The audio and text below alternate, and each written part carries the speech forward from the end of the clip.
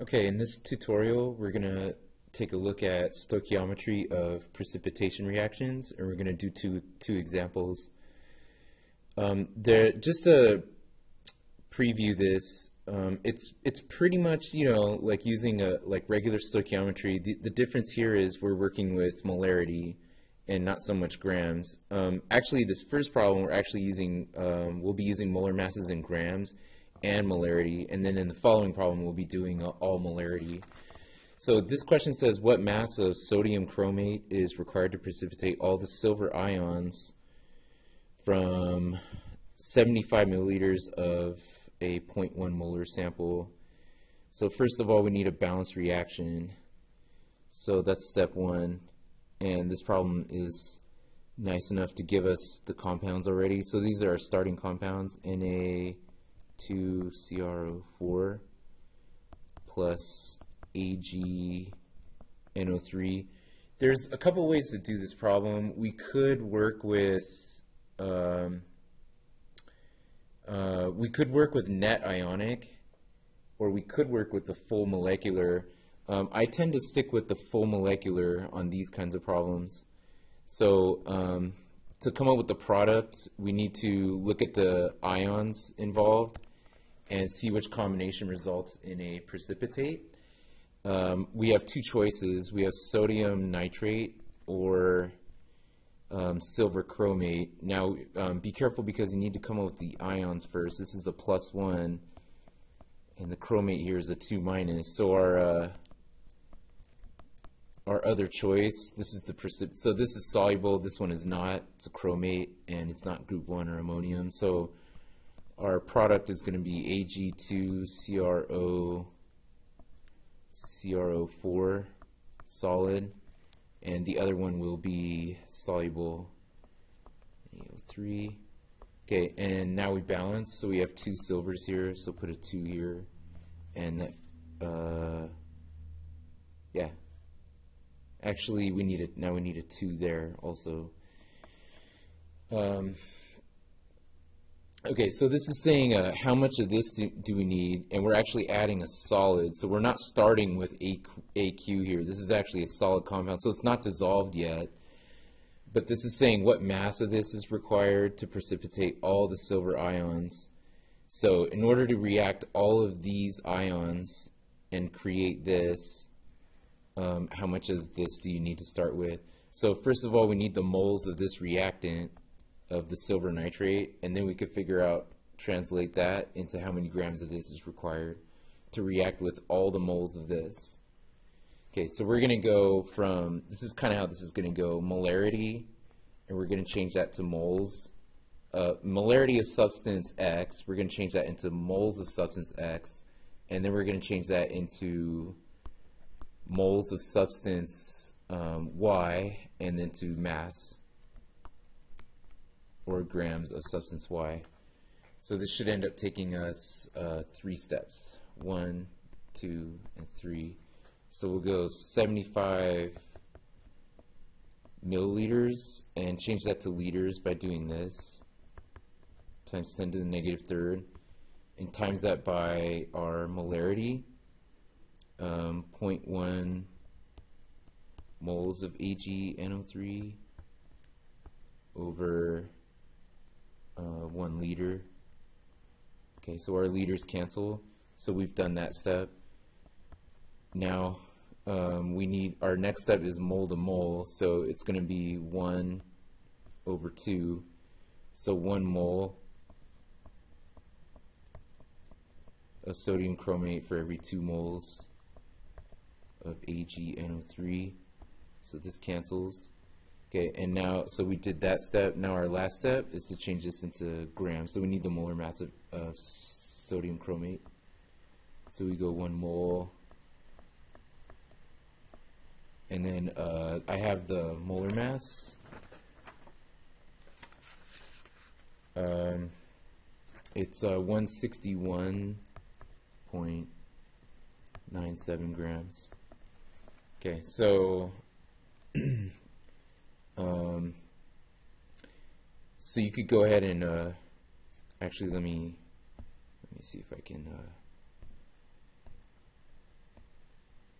see if I can uh, enter this problem here. So we have uh, 75 10 to the negative third times 0.1 times 161.97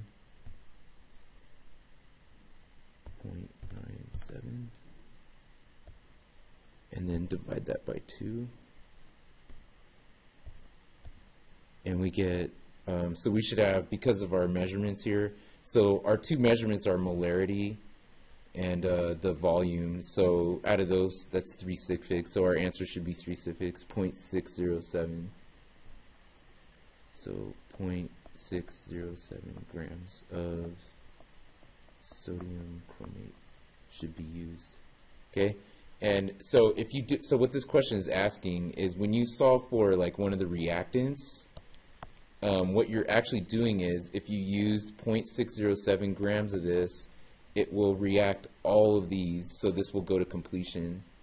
Um, a question, it's not really a trick question, but if there was a question that said how many, uh, what's the concentration of NO3 ions left over, the answer is not zero.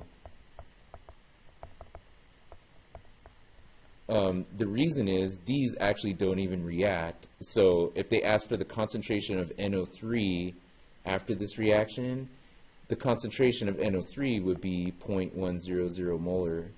If they ask for the concentration of Ag after this reaction, this would be essentially zero because the Ag is going into making up this solid here. Okay, so, um, and you would have to do a little bit of work, but you could calculate the concentration of sodium also.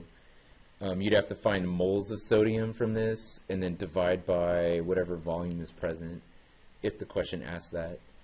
Okay, so let's move on to uh, the next question here. Um, and so now we're working strictly with um, molarity and volume here on this problem. So what mass of solid product can be produced when you have 50 milliliters of this reactant and 200 milliliters of this concentration of the other reactant? So by giving you volumes and molarity, they're giving you moles. So you have moles of both reactants this should uh, this hopefully jumps out to you that this is a limiting reactant problem. We have to figure out which one runs out, and whichever one runs out will be the one that limits how much product is formed. And in this one also, they start you off with uh, names here, so we need to write the compounds, and we need to come up with a balanced reaction. So that's step one. So aluminum nitrate, and hopefully you guys are getting pretty used to these, and you could come up with those in your head. So aluminum nitrate would be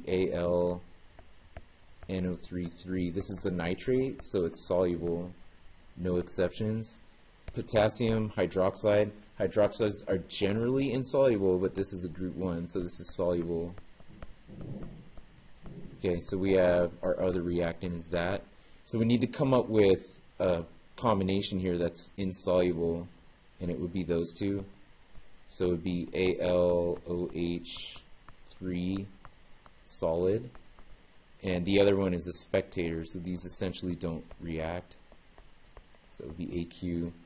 Okay, um, now to balance, we have three hydroxides here, so put a 3 here, uh, and then put a 3 to fix the potassiums, and that also fixed the nitrates. Okay, so the next thing to do is um, we have starting mole amounts of both of these, so we need to figure out this mole in this mole and compare it to the reacting ratio that's required. So the ratio is three of these for every one of these. So our mole amounts here are um, for um, aluminum nitrate, 50 times 0.200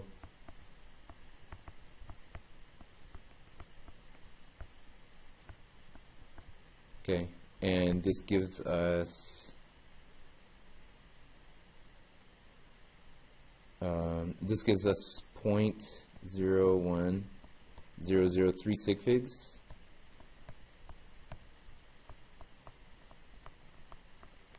So this is this is what we're, we're determining our limiting reactant, and next we have 200 times 10 negative third, 0.100 moles per liter of potassium hydroxide, which gives us 0.0200. Okay, so the laws of Mother Nature require a 3 um, to 1 ratio of reactants. Um, and what we actually have is 2 to 1. So we have 0.02 over 0.01, which is actually 2 to 1. So 0.0200 over 0.01, or 2 to 1. So you could, as you can see, um, what we require is 3, but what we actually have is 2. So what we put on top runs out. We don't have enough. We need 3. We have we only have 2, 2 to 1. So KOH is this is what we're going to use. This is our limiting reactant. And we use this to determine how much product is formed. So we're going to use this number here. Um, this is why I like, back when we solved, figured out limiting reactants, uh, I gave you guys three methods. This problem right here is why I prefer this method. When you're working with molarities, it's much easier because you don't have to look up molar masses to get the moles. So all you need to do is just look at the mole ratio of what you, what's required and what you actually need. Um, and then you could, it's real simple. It's the fastest way out of the three methods I showed you guys. Um, so this is what we used for everything, for any future calculation. So go ahead and um, finish this problem. We're, we're trying to figure out how much um, mole, uh, how much mass, so we want grams of AlOH3 is formed. Okay, so let me write in a different color our steps here, but I want you guys to go ahead and finish this. So we're going to go from moles of KOH we need to convert that to moles of aluminum hydroxide. So anytime you're going mole to mole, you need to be using this ratio. So we'll be using the 3 to 1 ratio on that step. And then next is to get the mass of um, aluminum hydroxide. Okay, so I'll see what you guys uh, come up with as part of the homework.